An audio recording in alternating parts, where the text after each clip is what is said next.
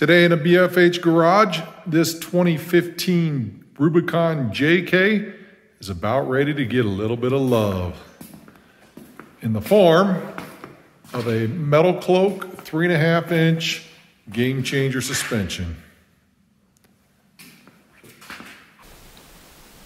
What do you say we get this unboxed, take a look and see what we got.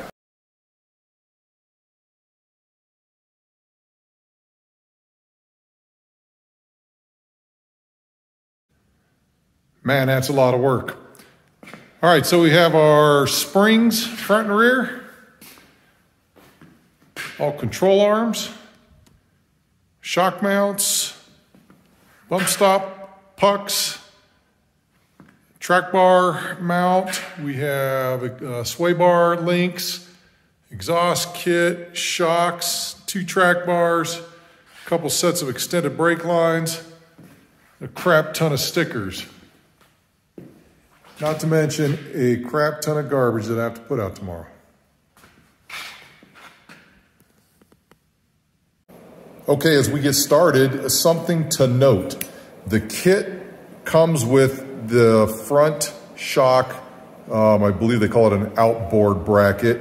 And while these are good, they cannot be used with um, your stock wheels. And that is because the back spacing on your stock wheels is six inches. And in order to use these brackets, you need to have wheels with four inches or less of back spacing. So if you're going to be installing this kit on your JK, make sure you understand that this cannot be used with the stock wheels or you will have some interference issues.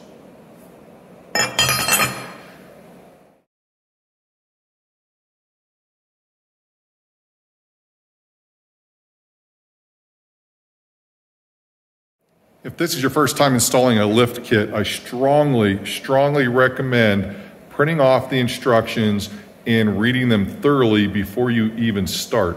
And a prime example is on the sway bar links.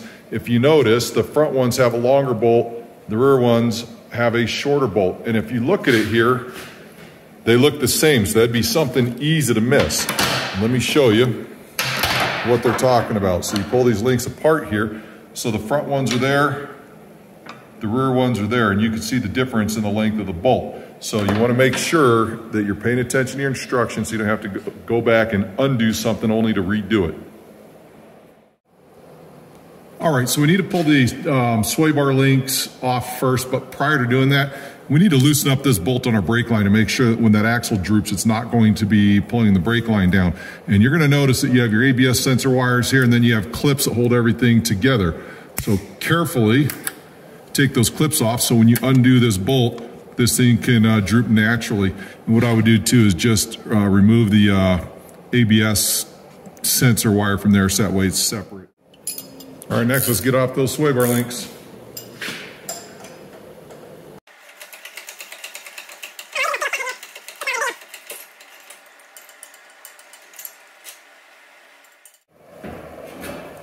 All right, next steps, take off the track bar. And this bolt right here, sometimes a pain in the butt to get off. So there's a reason I call this the BFH garage. In order to get this started, I'll take and hold my wrench on, take a big hammer and pop until I can just get that bolt started.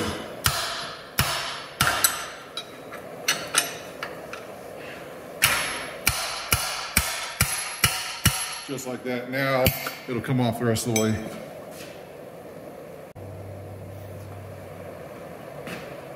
Now the nice thing is on the backside here, there's a flag nut, so you don't have to get a backing wrench on there.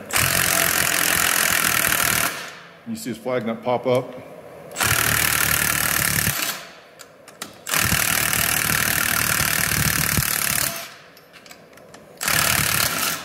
A little bit of axle shift, which is normal because the track bar is what holds it centered in place.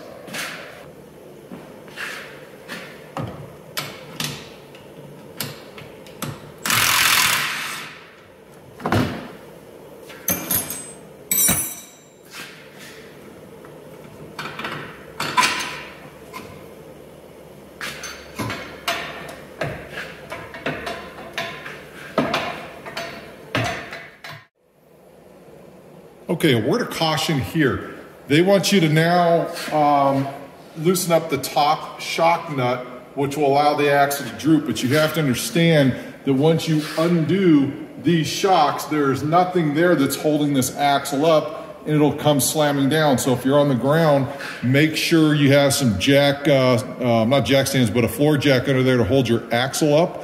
Or if you're on a lift like me, make sure you have your, um, your jack stands there, which hold the axle in place. Now, once I get those nuts removed, then I can pull the shocks out and then I can slowly release the axle so I can watch brake lines and everything else. The last thing you want to uh, see is have everything come tumbling down and either get yourself hurt or break things. So this will be my first rust issue.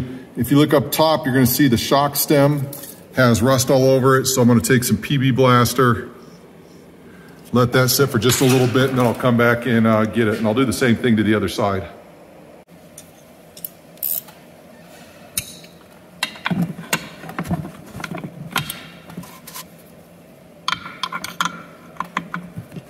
you have your stem nut up top and then you need to back it with the wrench right there.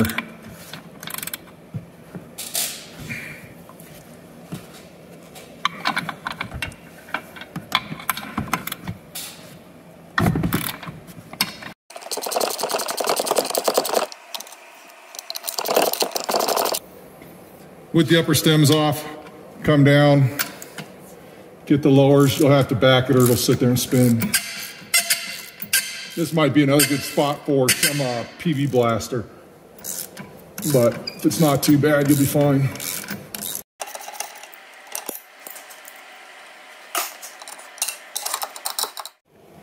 Okay, now's the time to take out the spring. So if you're on the ground with a floor jack, you can just slowly lower your, your uh, axle until the springs start to come loose. You have to understand these are still under tension and that's why this is so dangerous if you don't have everything all set up. So in my case here, I'll just start to lower my jack stands and eventually all the pressure comes off the springs and we'll pull them out. You know, one thing I wanted to um, uh, verify with you too, before you start drooping your axle, Understand that we've undone the bracket up here, but this still feels pretty tight to me. And if you notice on the JKs, they have a uh, bolt on both sides to hold this bracket in, which also holds the brake line. So I'm gonna pull those off and pull the brake line out this way so that way we can get full droop without stressing those uh, brake components. And then just as a reminder, once you get uh, these things loose, anytime you loosen something, put a bolt back where it goes so you don't lose it. And you can see how that's gonna relieve all the stress on that. And on the inside, I thought there's a bolt, there's just a little tab there. I forgot about that. So um, one bolt, 10 millimeter on this side, the other side's a tab. It pulls straight out and then uh, you gotta pull out board to get it to come out.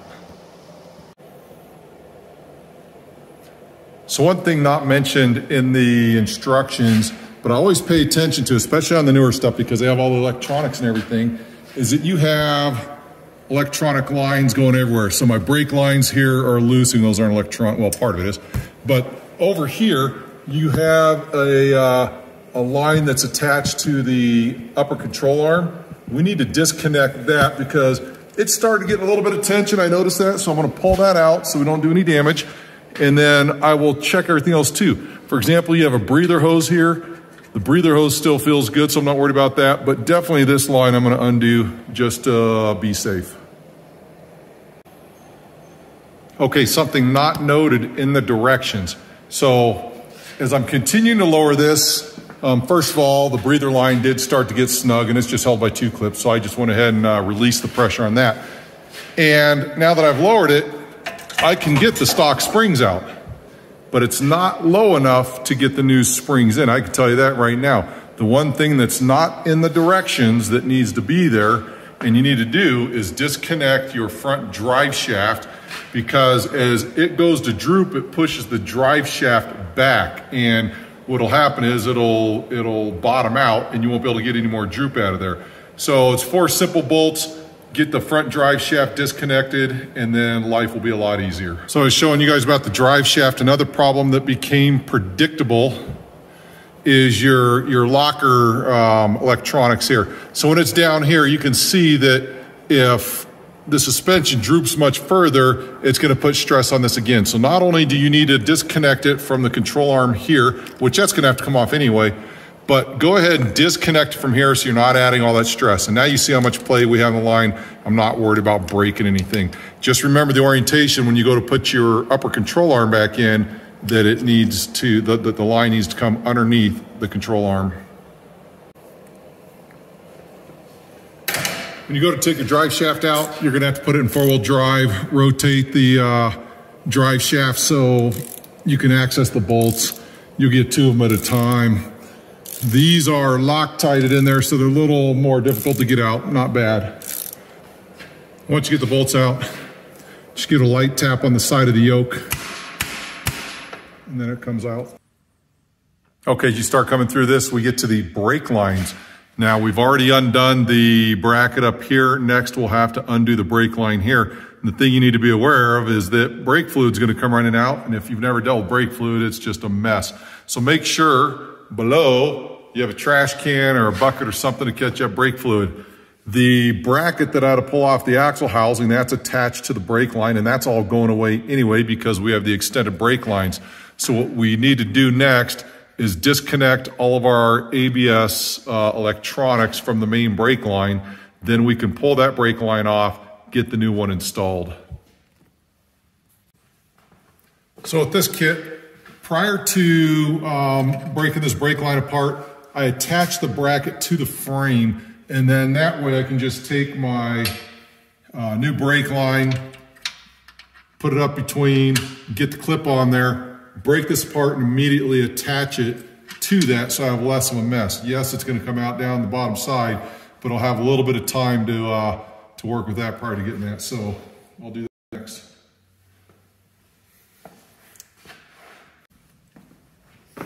All right, so once you have your brake line all established, everything's the way you want it, we have to go through and we're gonna zip tie the ABS line back to the brake line. All right, next up, we need to measure our control arms, get them to the starting point length. And in the uh, Metalcloak directions, you'll see up here where it gives you all of your uh, lengths that you need to be uh, setting these at. So um, one thing that you need to pay attention to is on this uh, front lower control arm,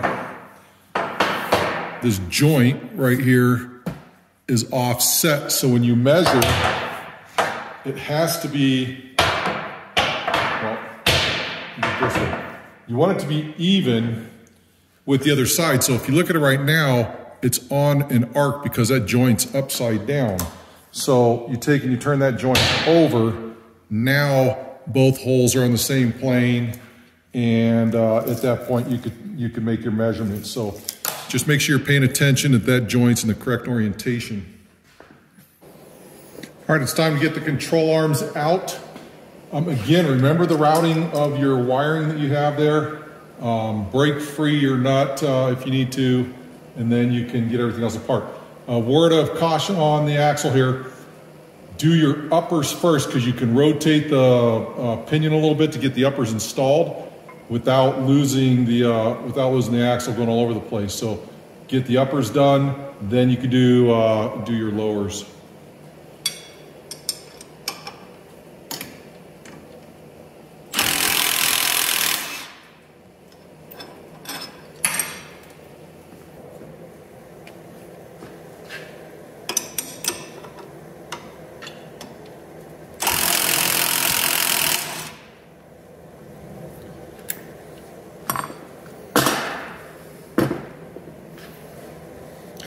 Now be careful too, when you go to pull this out, your axle is gonna wanna move one way or the other if you're not careful. So just keep that in mind as you're, as you're doing that. So I'll pull this partially out, get it right about there, and then I'll uh, get my arms ready. When you go to take your uppers off, the inside is a flag nut. So you need to first remove this little insulating piece here and then you could access the bolt from there and pull it back out. Okay, so now we're gonna get the upper control arm mounted here. The one thing you gotta make sure that you're careful of is that when you uh, um, adjusted these, they'll still move a little bit. So I like to tighten the jam nut hand tight because once you get it in here, it's still easy to move it around. So just be real careful when you're putting everything back together that you're not moving stuff around on accident.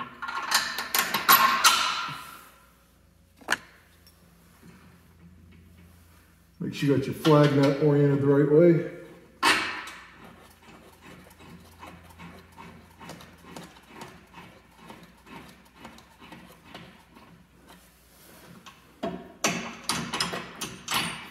And then I'll run that up there.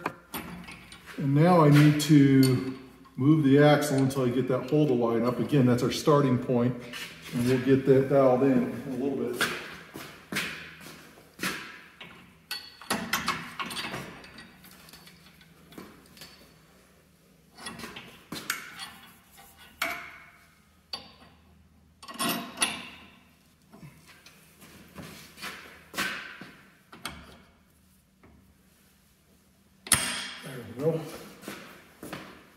And then same thing on the other side.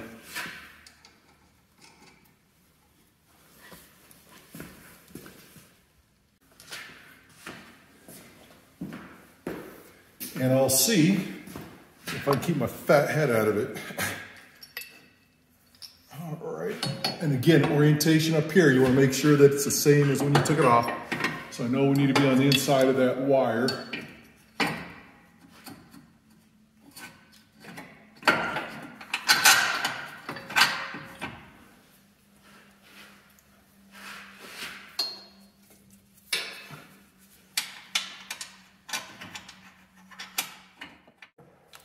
Time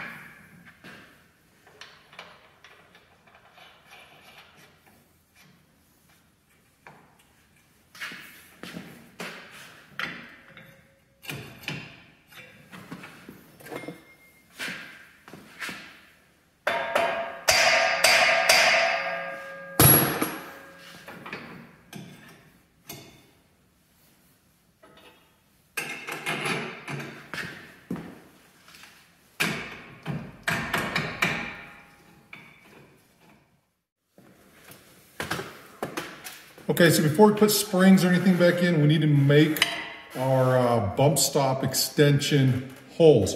So the factory spring perch right here, um, according to the according to the design of the factory, this was all the bump stop you need. But now that we're adding our um, uh, lifted uh, suspension, we need to add bump stops to make sure things don't go crashing into each other. So you want to make sure this thing is centered about as good as you can. And then what I do is I take a scribe and then I will punch the center of that mark. Start by drilling a smaller pilot hole first.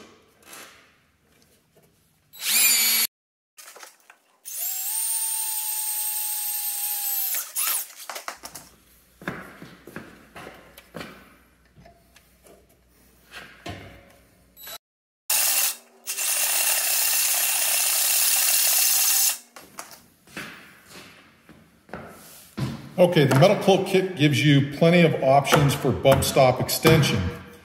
Um, if you are a hardcore off-roader and you like to get every eighth of an inch out of your uh, travel, then this is probably not the kit for you. However, uh, you know, Metalcloak designed this uh, um, with the standard kit in mind and they have it dialed in pretty good.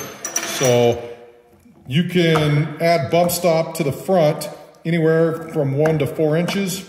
They give you different size bolts to uh, do that. You have a top plate. So for example, with the stock fenders on the JK that I'm working on right now, it would require three inches of bump stop. So I'll put this together like this, and then it goes into that hole I just drilled, and then this comes in from the bottom side and it tightens it down. Now, a word of uh, warning there, you want this thing good and snug, but you don't want to crank it down because over time, anything that's rubber like these pucks here will tend to, to split. You want to make sure it's snug, but you don't want to crank it down beyond its uh, ability to stay together. So they give you plenty of options here. Figure out what's going to work for you and go forward. All right, um, I'm going to put springs in now. And when you do a lift, it can be tough sometimes to get the, the springs in there, especially anything that's a uh, dual rate or progressive rate springs where they have all the tightly wound coils. You can't get a spring compressor on there and it makes it difficult. So what I always do is I just droop my axle um, as much as I need to get the springs in. And then when you jack it back up, it compresses the springs and usually good to go. I'm kind of limited today because I have my uh, jack stands here and they're only gonna let me go down so far. So I'm gonna see if this works and uh, get these installed. Yeah, it's gonna be close. There we go. Yeah, so that's kind of a pain in the butt. Now, the one thing you wanna make sure you do too is get your pigtail of your spring on this index here so you want to make sure it's lined up so that way the spring won't rotate any more than, uh, than uh, when you're on the trail. So that's all there is to that. I'll do the other side and then we'll uh, get the bump stop pucks in. Okay, before we get the rest of it, I'm going to uh, open up these shocks. And uh, we'll get these shocks installed. Comes with all the hardware you need pay attention to how your, your components go together. Looks like they have that pretty well to go underneath. This goes on top. Then yada, then that. So we'll get these installed and then uh, we'll go from there. All right, shock install is pretty straightforward. Can see where you have this rubber piece with the, with the sandwich washers around it. Make sure you bring your shock in. Leave your brake line on the backside. You're gonna put that up through the uh, shock tower hole up top. You're gonna put on your other rubber isolator. Then you're gonna put on your uh, washer. The bevel side goes down. Then you have another regular washer. And then you have a nylock nut. And this nut, at least in this kit, is a 17 millimeter.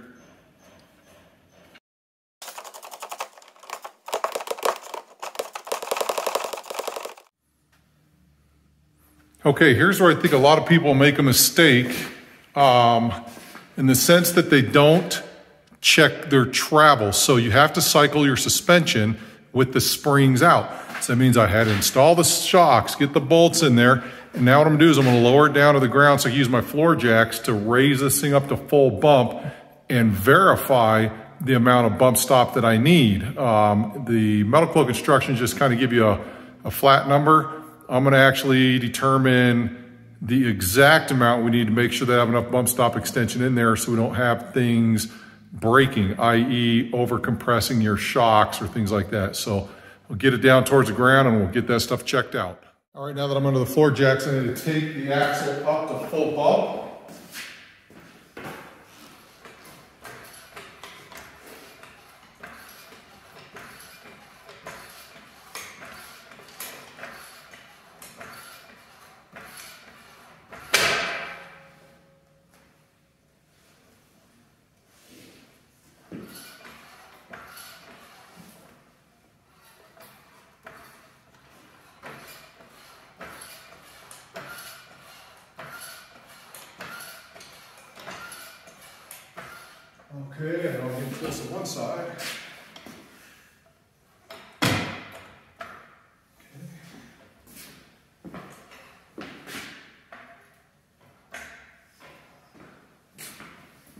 Okay, now with the axle at full bump, I can measure for my shocks.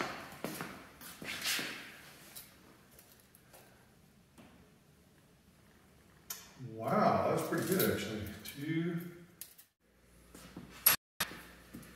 So pay attention.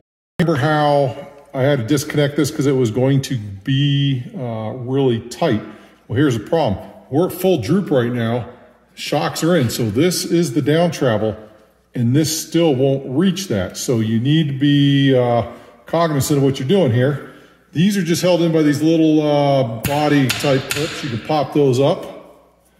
And now you can see that uh, it'll get in there and fit. Um, I'm probably going to cut this tie and I'm gonna loosen it up a little bit just so it has plenty of room for the flex. You don't wanna be out on the trail to find your four-wheel drive goes out because you didn't pay attention to the way your um, connectors went. All right, let's get the bump stops in. Or I should say bump stop extension. So in the instructions, they tell you to have this thing already put together, have it in the spring when you're putting the spring in. It always gets in the way and it's always a pain in the butt. I just take them and I put them in one at a time like that. And it's not so difficult. And then I take my little uh, bolt and the uh, top plate, get that in there. And you just got to kind of start fishing it down through to the bottom. And you can raise up, see your holes at. Boom, there it is. Um, so there's a nylock nut here that goes on the bottom side, so I'll have to get a ratchet to hold that. And then the top side's held by an Allen wrench. So you do that, you tighten it up. Again, like I said, make it snug, but don't over tighten it to where you're going to cause the pucks to prematurely fail. Pretty straightforward. Okay, time to install the track bar. Now, when you install the track bar here, the fixed end goes to the frame side, the adjustable end goes to the axle side.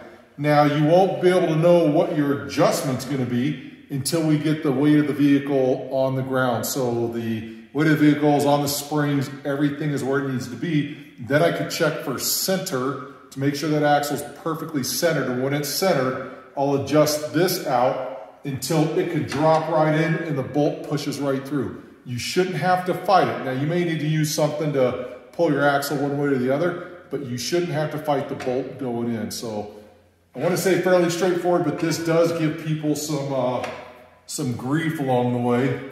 And uh, I just want to make sure you understand why that is. So go frame side first. Get everything finger tight. And then down here at the axle side, it's not even close right now. And that's because when the axle droops, it can move left or right. So we don't have a measurement on that, on that yet, so I'm not even going to try to adjust it. I'm gonna wait until we get the uh, weight of the vehicle on the ground, and then we will adjust that, get everything uh, put back together. Once it's on the uh, um, weight of the tires, everything's on the way to the springs, then I'll go through and I will torque everything down to spec. You want to do that at ride height for most everything. Um, there, there's some other type of uh, control arm stuff out there that can be done in any position, but Metalcloak uh, prefers to have theirs uh, done at ride height. That's where the suspension is centered. It makes sense. And then uh, it'll be all done. Now, also understand that when you are completely done with the suspension, because we altered the height, your uh, alignment's going to be off. So you need to take that in and get it aligned, um, and uh, they can um, take care of all that there. So um, I'm done with the front with a couple of minor uh, cleanup things. I got to get my breather tube put back up, and then we're going to move on to the back. Bad habit of saying that I'm always done with something when I'm not. So one of the things uh, that you're going to run into as a problem when you install this lift is going to be the exhaust right here. So you can see the relationship of the drive shaft. That's as low as the drive shaft. Let me back up. That's as low as the drive shaft wants to go right now. And that's because that exhaust right here is in the way.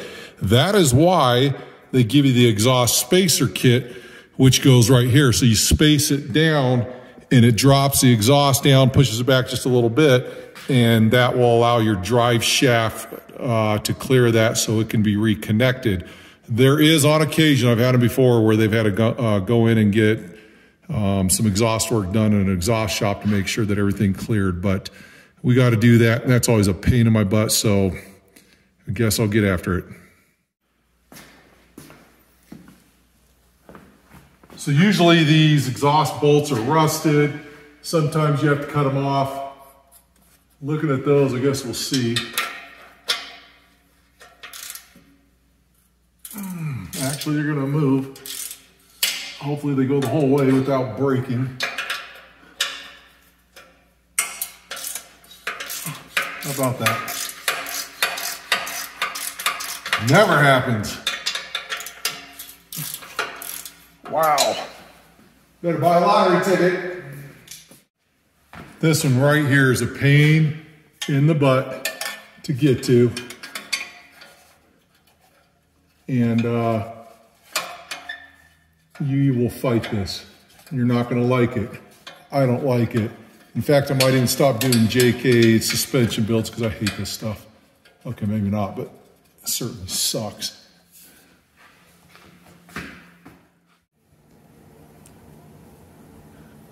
All right, so you have two exhaust spacers you have to get in. One is on the passenger side over here, and the pain in the butt one is on the driver's side up there. Um, I don't have the bolts tightened down yet, but I fought this thing for a while. You're not gonna like it when you have to do it, but it is gonna be required.